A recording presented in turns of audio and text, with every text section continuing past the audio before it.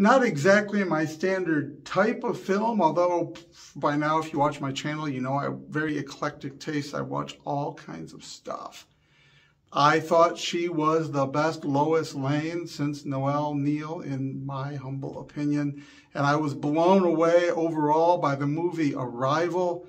And because Amy Adams was in it and I heard good stuff about it, I figured, what the heck? 2007 Enchanted.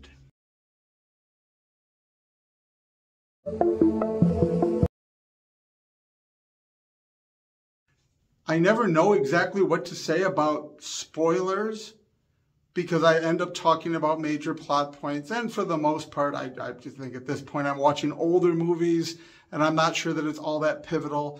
But this one is.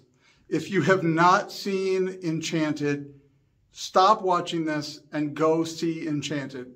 It is incredibly well done. There are some amazing key features to it that I have to give away in order to talk about it, but they took me completely by surprise. The little bit that I knew about this movie existing, well, I had preconceptions about the type of thing it was going to be. You knew it was going to be this way or maybe this way, and then it was something completely different. And it was very, very satisfying. It blew me away. It was entertaining.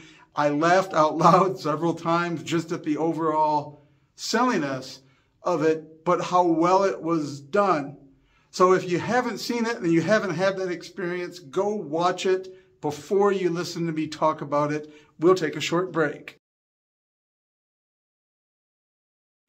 I was the generation that saw Who Framed Roger Rabbit at the theater, and we thought it was amazing the interaction of live action and animation. Although all the way back to the black and white Superman serials, there were appearances of Superman who, which were animated, superimposed onto the film.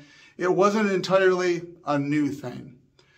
I really expected that the way it started in the cartoon universe, that Enchanted was going to be she gets sent through the portal, she comes to our time, she learns all the hard lessons about our life, and goes back and maybe that makes her universe more realistic or she brings with her some of her magical optimism and that changes and affects people here.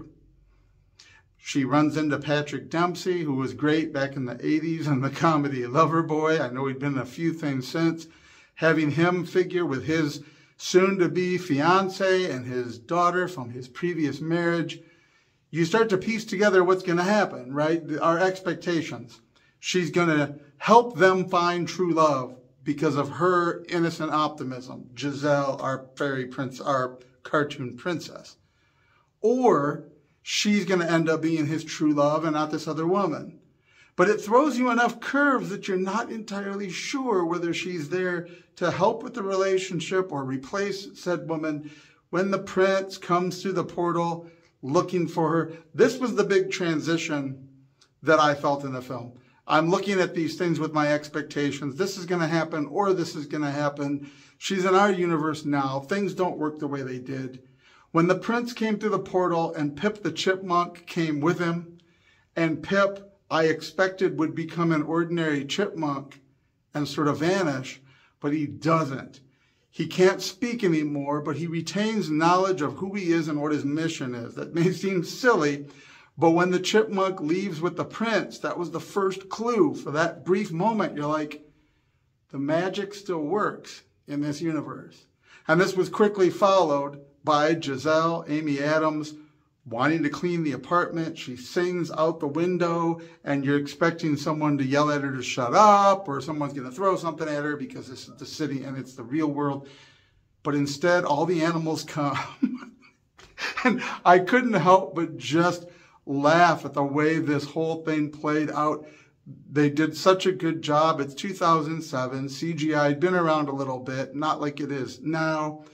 It is so brilliant the way the real animals, what look like real animals, interact with the environment and help her clean the house. And yet, everything in the cleaning of the apartment, everything is modified to be sort of more like our universe, like suddenly there's cockroaches, but the cockroaches help clean the bathroom. All of these weird, the rats come out of the sewer, but they help clean the house. It, it was just that was the turning point of realizing the magic from the cartoon universe works in ours.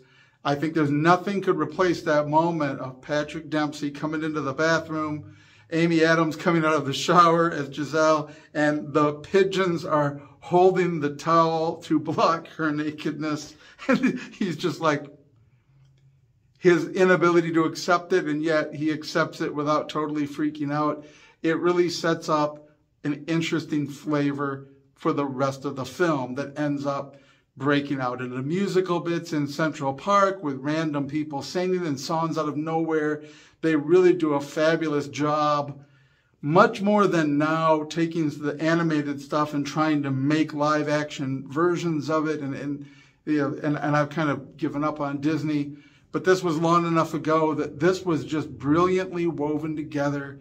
The cartoon universe, them coming to ours, bringing some of that magic with, and ultimately they do end up switching romantic partners in this totally, it, it's probably the most lighthearted, feel-good film that entertained me that much in a long time just because the performances are so good by everybody in it. But I like Amy Adams and Patrick Dempsey. It was cool seeing him for first time in a while I'd seen him. Like I said, Loverboy in the 80s. I loved that movie. I've seen it a million times. He looks so much different and yet kind of the same now.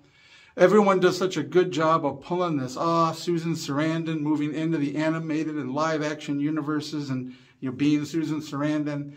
And all of it just works works out so well that by the end you have this story that it's both not it, it doesn't it doesn't defy your expectations in a way that's disappointing it surprises you and gives you things you didn't expect, but in a very satisfying, entertaining way that makes you happy by the end. And that's really, that's a unique bit of art when you can take all those expectations I had going in and from years of just seeing the preview here and there or an ad for it and be like, oh, you know, I know what that's it, what that is.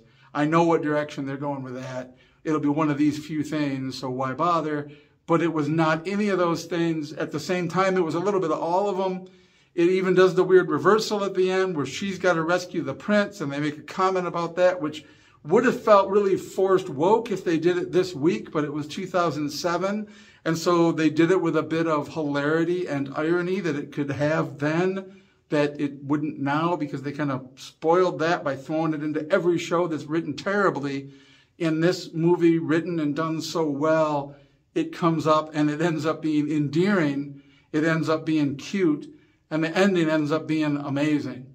It's got to be the weirdest, girliest, probably the girliest feel good movie since Ice Princess that I liked this much, but this is even more happy, happy, joy, joy sort of film.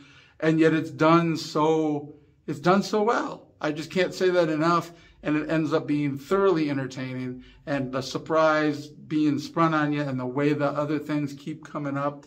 It's got to be experienced to be appreciated. I don't know, maybe you hated it. Let me know what you think. I loved it. I think it was amazing. I wish we were still writing stuff that was remotely this good and putting it to screen. And it helps when you've got that many talented people in the cast. But what a great blending of animation, live action with the, the CGI live action, crossing over those two universes, bringing them together. Just good stuff. Check it out. Let me know what you think below. Enchanted.